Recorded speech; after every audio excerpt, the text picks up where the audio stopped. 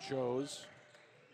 Inside for Sims to the corner and a three ball thrown in by Will Moreton gets him to the 1,001 point mark, the 40th player in the history of Stonehill basketball to eclipse 1,000 points for his career.